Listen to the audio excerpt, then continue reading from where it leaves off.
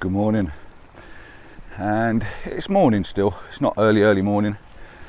Again, I had another bit of a lay in this morning. I knew the weather wasn't going to be that great. We had rain last night. And uh, good morning, Sparrow. And uh, we had a little flurry of snow this morning. I'm parked in Capel Curig and I'm literally just going for a walk this morning.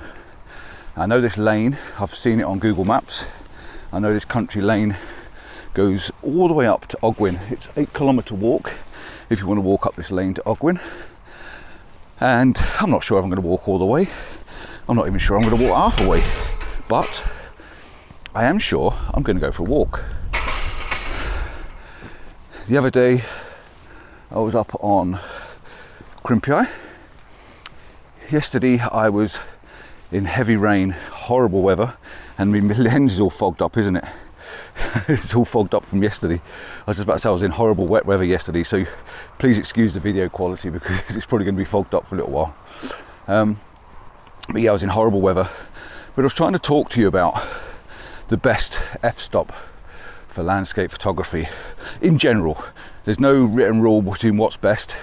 If you want a shallow depth of field, great.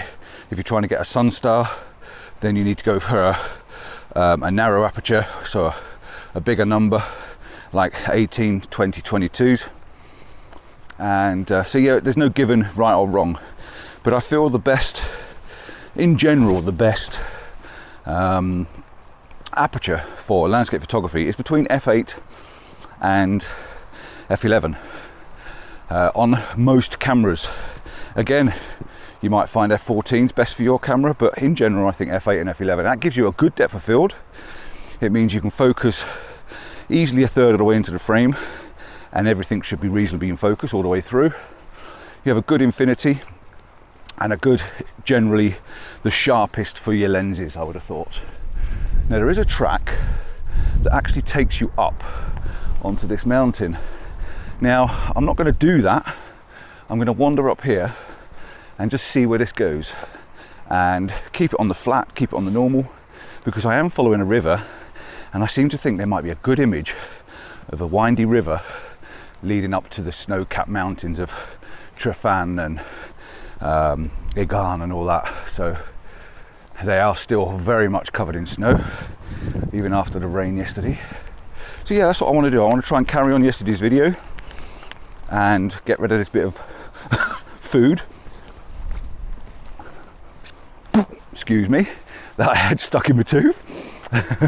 you know what it's like when you've got a bit of tooth, a bit of something there, and you're constantly, mm, mm, mm, constantly look, feeling it and looking at it. So yeah, yeah. Let's let's have a look. Let's let's just see. It's just going to be a gentle one. Let's have a little look before I go back home today. Two minutes after I was talking to you as I was coming along this lane, I come down, it's starting to come around the bend and look at this, you've got this lovely pathway and because there's snow on it it's standing out and it's taking you down into the mountains. So we're going to take a shot here and what I'm going to do is just on the side here there's a clump of trees I'm going to use f11 and I'll take a picture of I'm going to focus on these trees and use this leading line going down into the mountains. Okay then I'm going to do the same again and do f8 and I'm going to put the two images up on the screen for you. Just have a look and see if you can see a lot of difference between the f8 and the f11 I think you'll probably find at this distance on a slightly wider angle lens you won't get a lot of difference at all. And this is what I'm trying to say that between f8 and f11 you're getting that good all-round aperture to work with your landscape but I think this is going to be quite a nice little shot. Leading off into the moody foreboding white mountains with that horrible thick sky and the snow is coming in over my head as well at the same time so uh, well it's between snow rain and sleet. It's a bit of a mixture of everything so let's get the camera out. I'll take the shot. I'll put them up on the screen. Uh, I won't get a tripod and anything out because there's plenty of light. It's quite bright and I can do it all handheld with the image stabilizer on. So I'll get a shot of this put two up on the screen and let me know what you think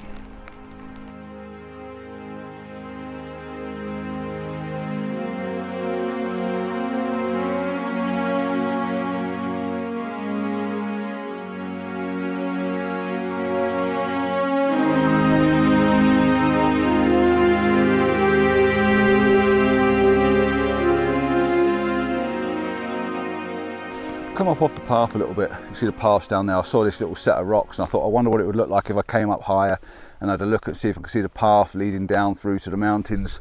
Uh, this big one in front of us is actually uh, Tryfan, um, but it doesn't look all sharp and pointy because you're looking at its side on. Um, and, and then I like the, um, the little bit of snow that's on these rocks just here. So I thought I'd come back up on the hill so I'm sort of up a bank looking down and then looking down onto the path again. And I thought I'd do another experiment for you. So I've taken three different focal lengths. So I've taken a wide one, taken in this big leading line with the leading line going through and then the mountains in the background. I've done it at f11 and f8. Uh, I think I've done a narrow one as well, or a wide one at um, 3.6, I think it was. And then I zoomed in a bit, done the same again, and then I've done the same again. And you'll see that probably the the closer you zoom in, the narrower your depth of field will be. So your f8 and your f11 becomes more important. So you probably find that f11 will be better because you want to bring in a bit more of the background. So if you zoom in more, which compresses the image more, you want to get a bit more depth of field. So by going up with a bigger number, uh, you know, closing your aperture down will give you that bigger uh, depth of field. So that's the plan. I'm going to put the images on and I'm sorry I can't talk to you why I'm doing it because it's fighting with the elements. It is raining and snowing and sleeting at the same time um, bags wet, everything's sort of damp. It's just difficult to work with the camera, it really is. So yeah, I'm to put these up on the screen and again, leave us some comments, let us know what you think. Am I talking rubbish? I'm just trying to keep this simple for the simple people that have just started out and they really haven't got a clue. That's all this is about. If you've got any, any idea what you're doing, then you don't need to be listening to this, just enjoying me rambling on and walking in the snow and getting wet.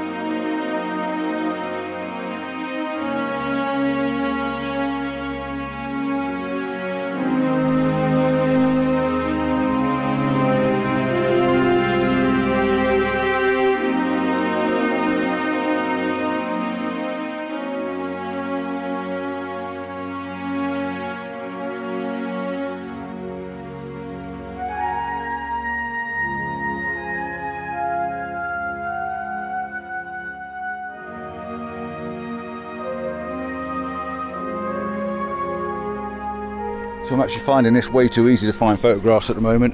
Uh, look at this, great big flat plateau of rocks, but not just that, it's it's a nice shape leading you to that tiny little white house which is standing out in the background. And then you've got the snow-capped mountains with that big black thundery thick don't know what field it could be could be rain could be snow could be anything clouds above it. So this is going to make a fantastic photograph.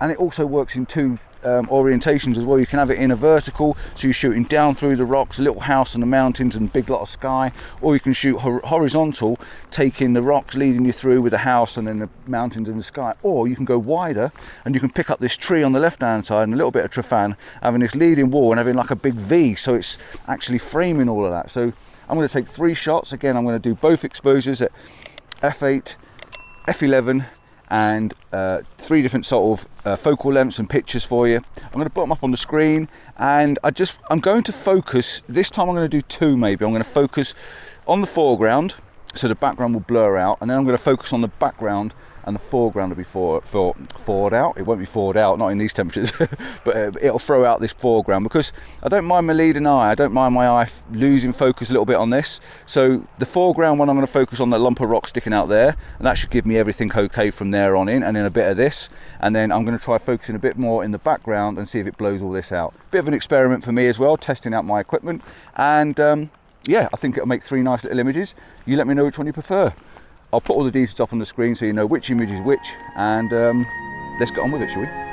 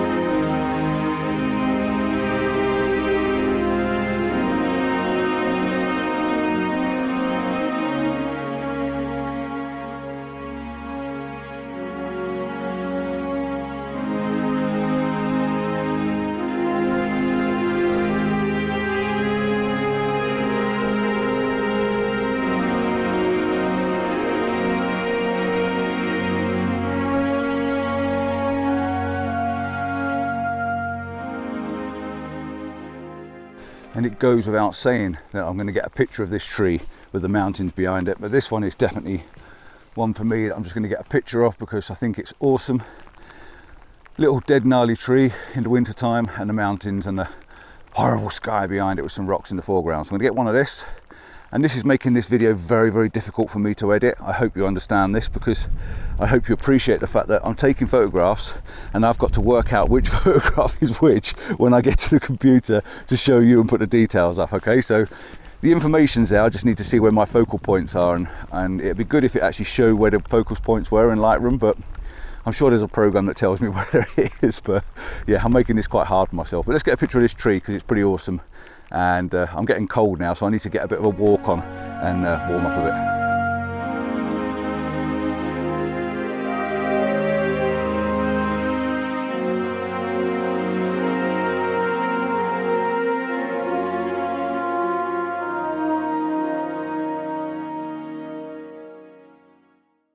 Know you're looking at my nostrils at the moment but I've got my Osmo plugged in and I can't, I haven't got, a, I've only got a short charging lead.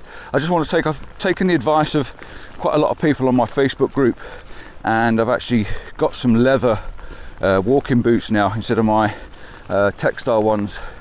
These are a Gore-Tex boot. Um, oh my God, look at this ice.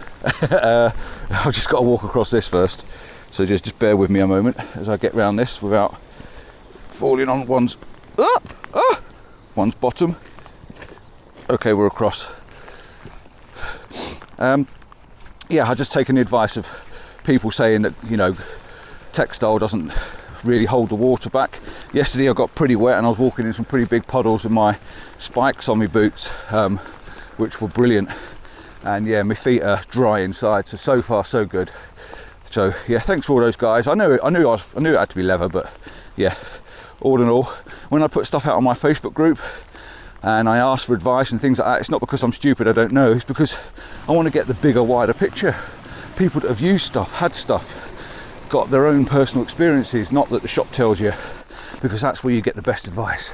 People that have actually used the gear. Right, I'm coming to a little bit of a hill.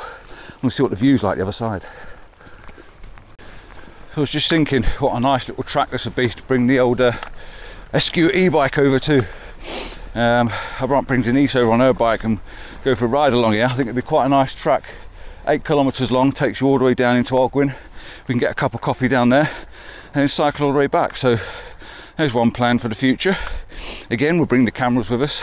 And this little lone tree that I'm now walking back past will become something a bit different and the mountains will look different and the sky will be different. So yeah, always worth coming back to have another look at a location. But yeah, it's a good little track. I've just been frightened to death by a cyclist. I was just doing a little bit of B-roll, showing you a bit of a icy patch of rock and uh, I turned around, there's a bike there. Whoa! Made me jump. I wasn't expecting it to be there. Um, yeah, I'm heading back to the van uh, without trying to fall over on the icy bits. Uh, very, oh, very small piggy steps, and uh, I've got down to all the way down to a stile and a gate, and I thought, well, it's just looking more muddier and the same down that end. So I thought I've already taken a few shots that I think are okay to show you what I feel I'm happy with. Uh, hopefully they're sharp because I did realise after taking the ones at the tree that I didn't have my image stabilizer on pillock. Um, but never mind, I'm sure it'll be okay. If you do struggle with photography or you want to come out on some locations, places that I may have been, or let me do all the legwork and you just come and enjoy yourself, then you know, hook up with us. Give us a shout. I do some workshops throughout the year, one-to-ones, mini group ones if you want, if you've got some friends that you want to go out with. Uh, always works out cheaper that way if you've got two or three people.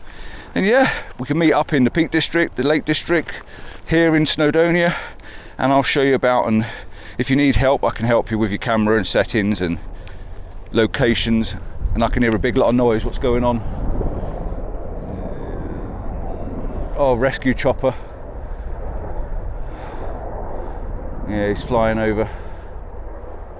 Not good when you hear them out. They're probably not out on exercise today. It's probably a it's probably a rescue. I heard yesterday talking to a guy, there was 30 people lifted off of Snowdon on Thursday. If you aren't geared up for the gear, if you don't know what you're doing, don't go.